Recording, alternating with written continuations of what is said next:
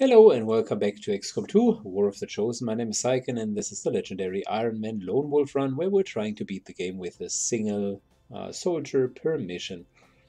Pretty crazy, it's end of month number 4 and we're still in the game, trying our best to fight back, but the Avatar pro uh, project is making progress.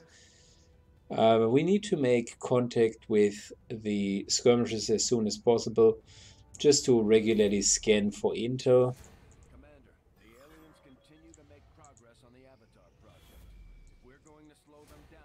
Oh gosh, the game is... Oh my gosh. Did we just get two Avatar project points? Wow, this here is crazy. And with two facilities, it's going to ramp up even further.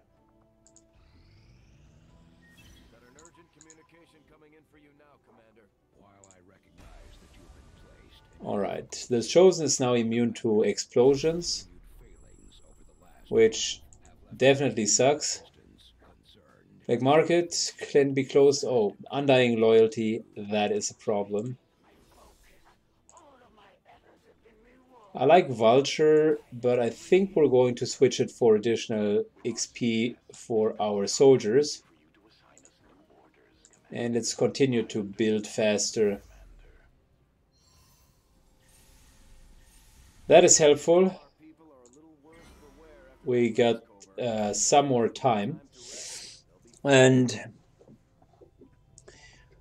oh wow, that's uh, pretty helpful. Avatar progress, another avatar progress. We could get an engineer here.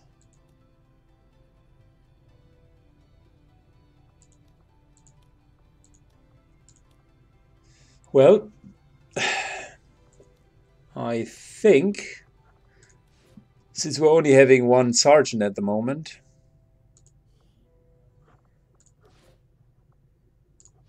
might as well do this mission here. Problem is there is a moderate chance of a wounding.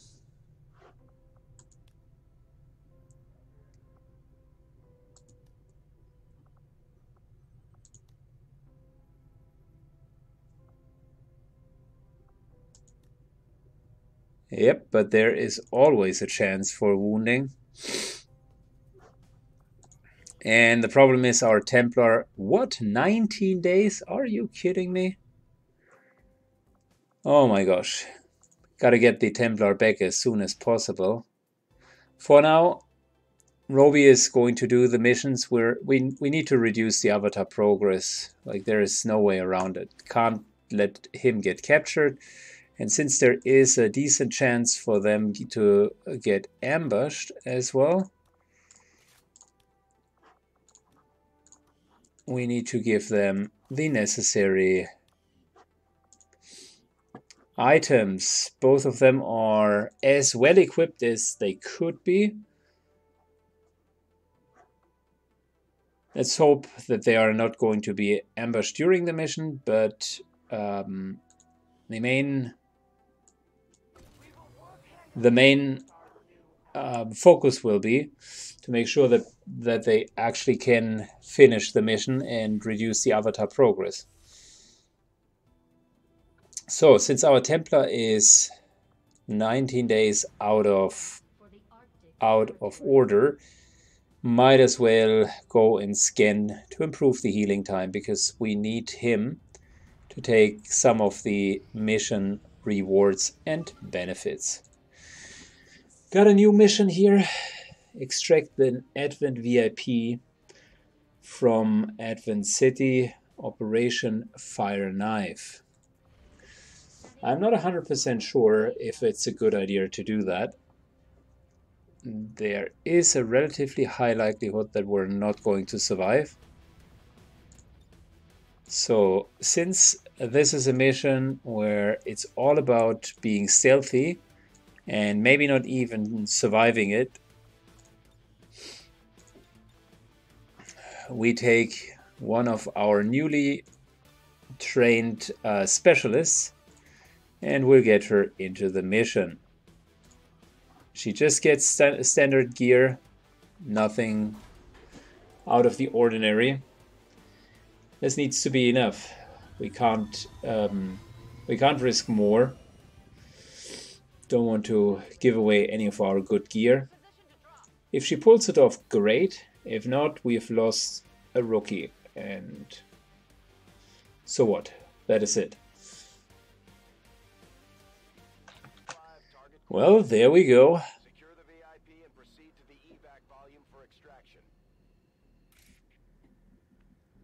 We're coming in hot.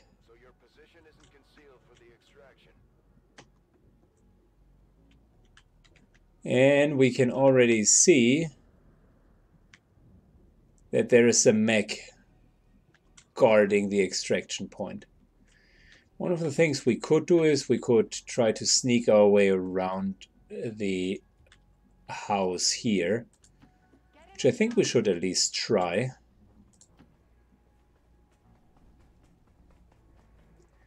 The longer we can stay out of line of sight, the better, I suppose.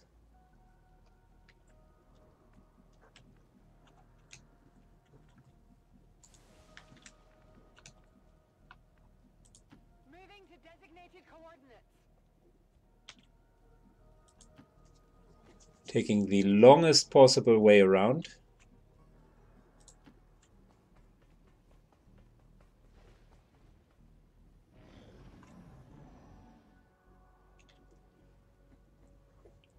I was contemplating whether or not we might want to take the high ground here, but it's not not um, long enough, and this here will probably lead to some sort of some sort of triggering of a of an enemy pack.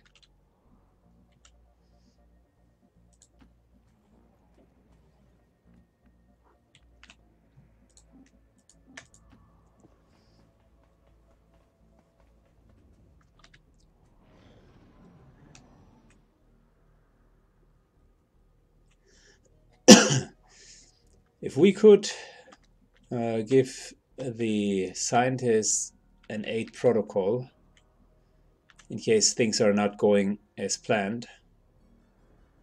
That might be all it takes.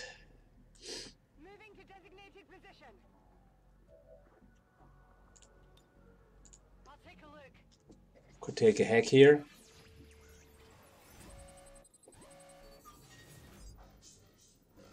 Yeah, SWAT site doesn't really offer us anything. Might as well not take it. We still have nine more turns to get out of here.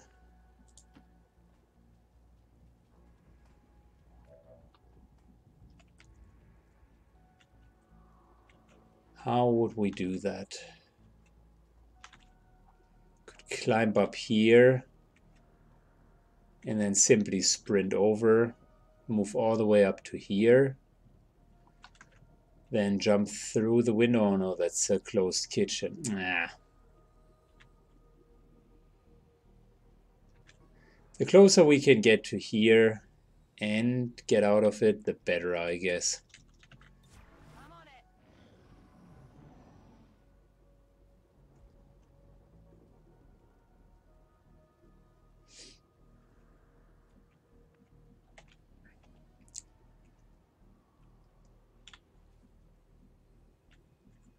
Hmm.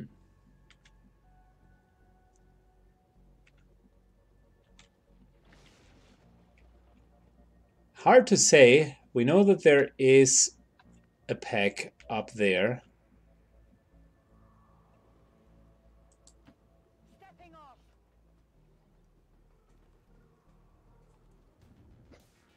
Wow, okay.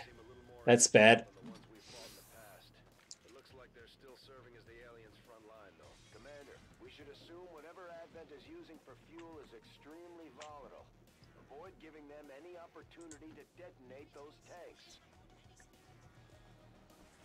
Alright, moving up. We can only hope that the mutant is going to miss. He's clearly flanking us. Overwatch, okay. Miss.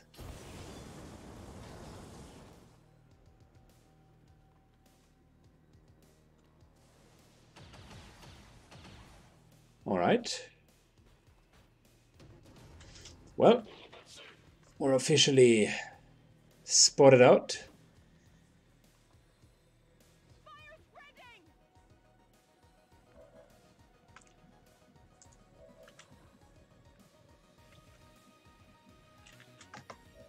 Can't fully reach the exit. We can't fully reach the exit.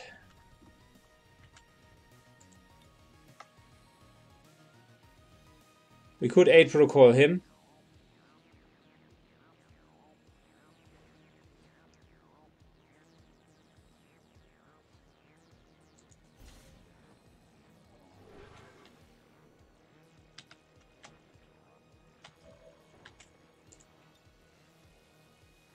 And simply stay back.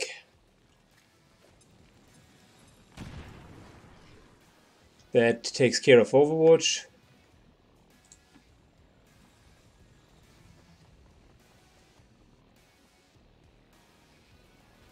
Oh shit. Yeah, we're not going to leave uh, this place alive.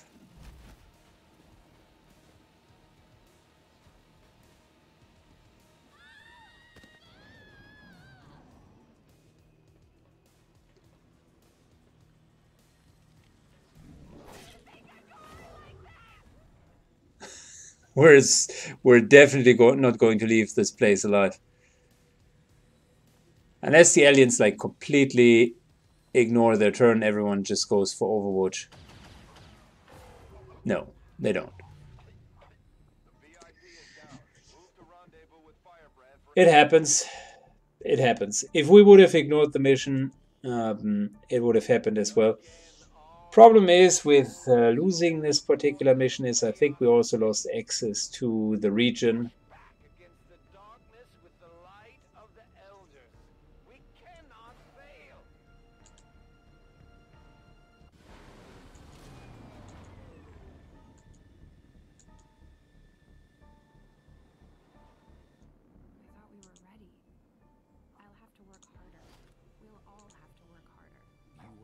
yeah, we lost contact with the region. So we're we're down to one region. And we don't have the intel to make contact.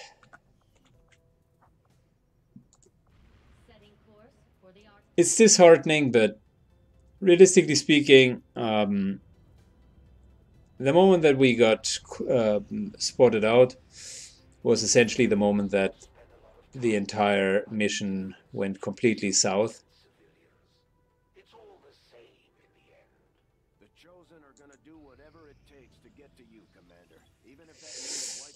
Well, that's a good development. We got magnetic weapons finally.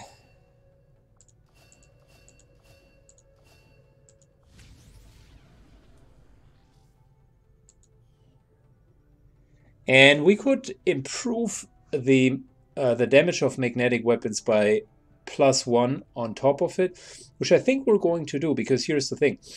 Um, that's the level of plasma weapons, which means uh, we can wait with researching them for quite a while.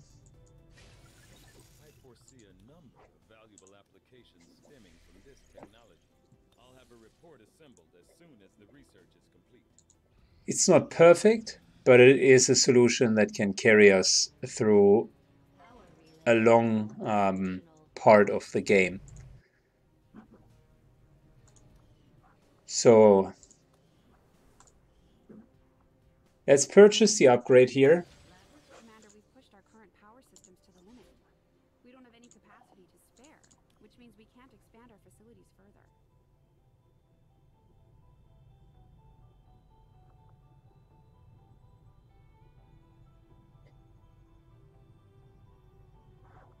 Wow, we're even losing money per month. I never had that before.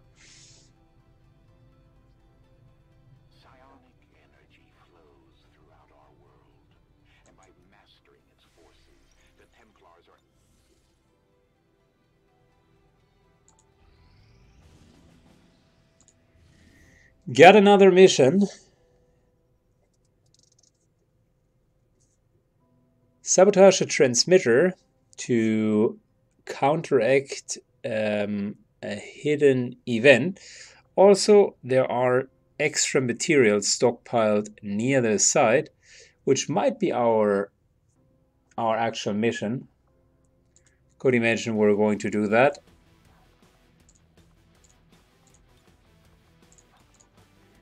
In terms of going for the uh, for the mission here, could use Renman. Or we're just using Sanchez here, who at least has a chance of getting someone down. Just one check real quick. Build items, weapons. Yeah, we need alloys.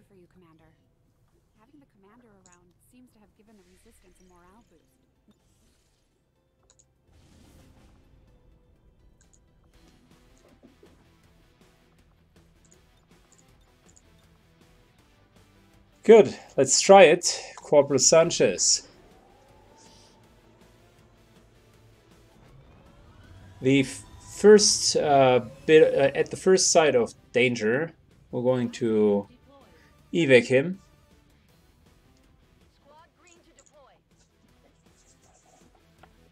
Our um, idea is to maybe kill a single enemy or get a crate. And there we go again. So we're most certainly not going to sabotage the transmitter, but we might be able to get some of the crates. So let's take a close look where those crates might be hidden.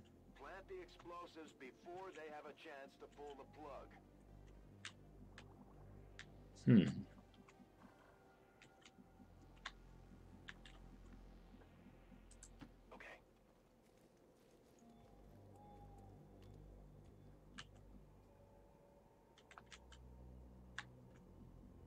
Where are the crates?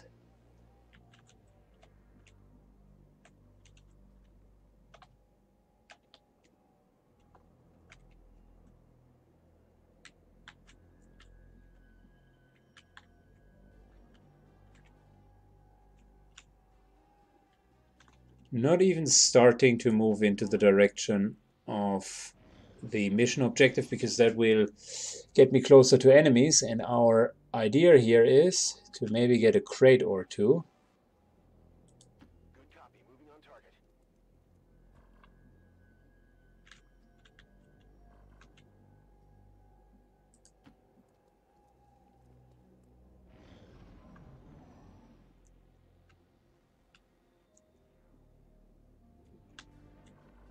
Nothing.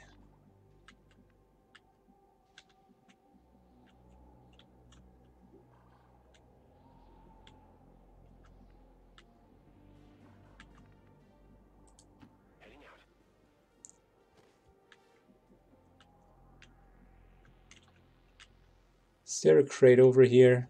No.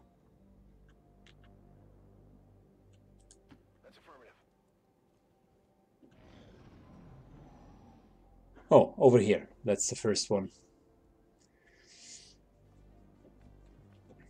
Menace 1-5, they're about to disconnect the transmitter. This is our last chance.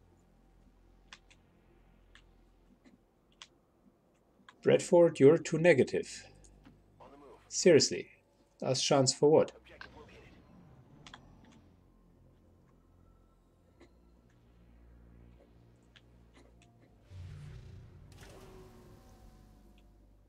It's too late. They've disconnected the transmitter from their network. We missed our opportunity here.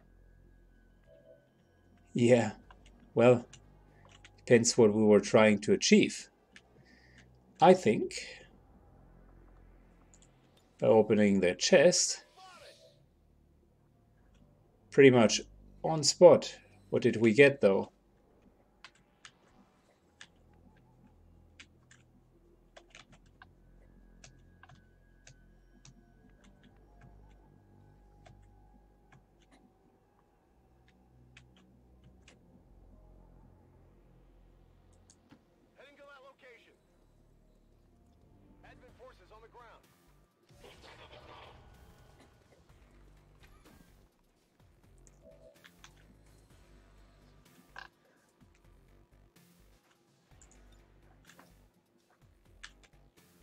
Can't call a Skyranger directly onto us.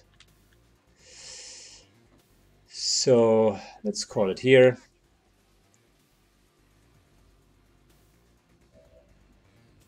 We are certainly not able to eliminate the targets, so see you later.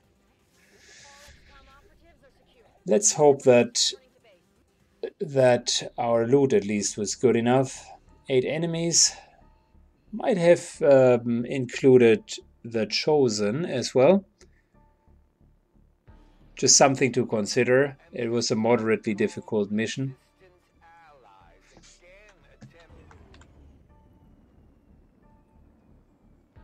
So we certainly did not sabotage the transmitter. And apparently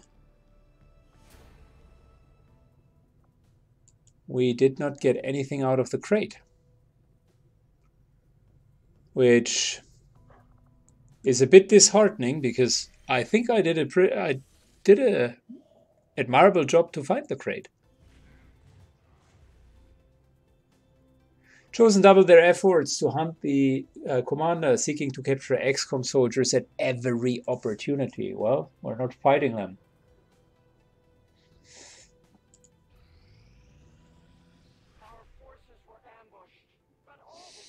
Oh. Well, that is going to be interesting. Because now we're playing a real mission. An ambush. Um, that's going to be our next, uh, the mission in our next episode, guys. Thank you so much for watching. Uh, we are up to Operation Bloodfist which is de facto going to be the first mission where we have more than one operative because we're getting ambushed and you couldn't staff the mission with only one operative. So we might even be able to win this. Cool. See you in the next mission and thank you so much for watching. Bye bye.